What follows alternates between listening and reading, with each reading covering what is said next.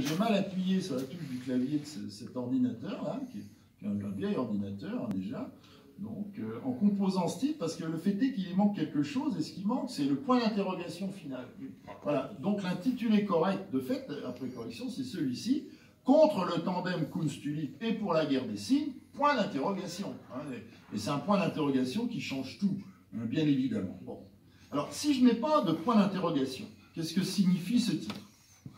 Ben, Simplement, une fois pour toutes, que ben, j'ai quelque chose contre Jeff Koons, cet artiste américain, vous connaissez tous, et sa sculpture implantée à Paris, donc ce fameux bouquet de tulipes, et qu'en conséquence, je vais plaider à charge.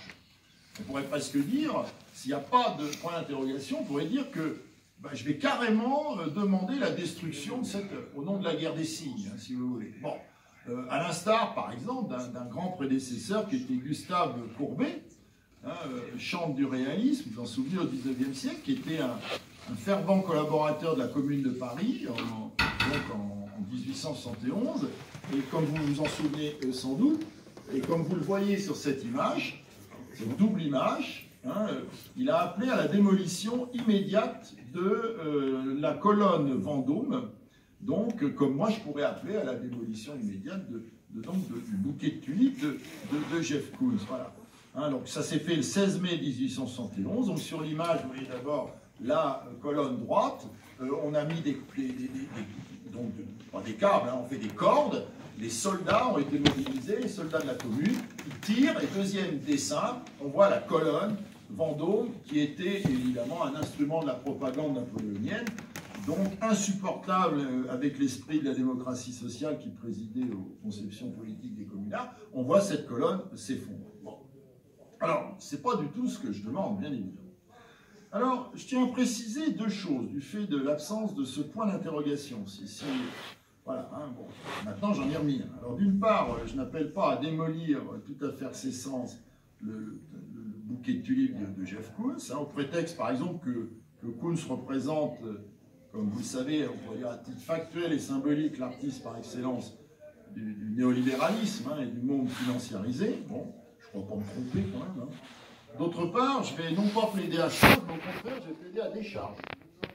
En montrant que le bouquet de tulipes de Koons, de Jeff loin d'être l'horreur plastique et la honte de Paris que certains ont voulu y voir, est en réalité et précisément, très justement, l'œuvre que Paris attendait.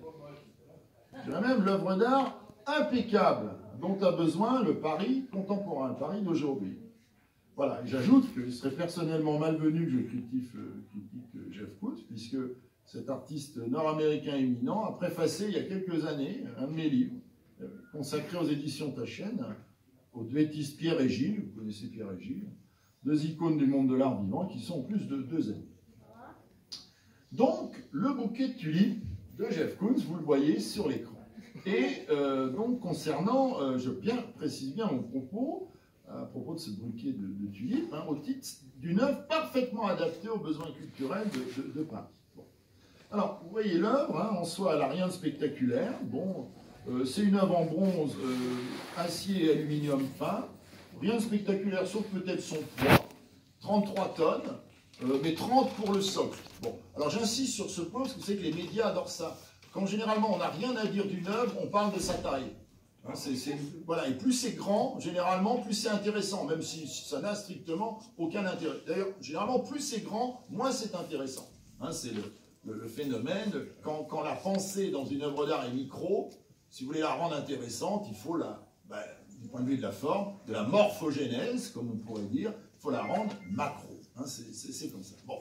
Alors, hauteur moyenne, une douzaine de mots, de mètres, pardon, et un, propos d'une grande lisibilité. Alors, comme vous le voyez, vous avez un, avant-bras humain posé sur un socle, hein, euh, donc, qui sort, donc la chair est rose, un avant-bras qui s'extrait de la terre d'un jardin, qui est le jardin derrière le petit palais, là, pas loin des Champs-Élysées, et il tend vers le ciel un bouquet de, tulipes multicolores. Alors, sur le mode, on pourrait dire de l'offrande, hein, on, vous offre quelque chose ici. Bon.